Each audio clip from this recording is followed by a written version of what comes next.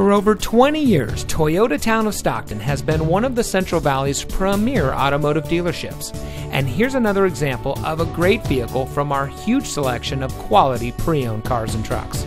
And comes equipped with alloy wheels, steering wheel controls, moonroof, heated front seats, navigation system, keyless entry, air conditioning, traction control, CD player, power windows, and has less than 55,000 miles on the odometer.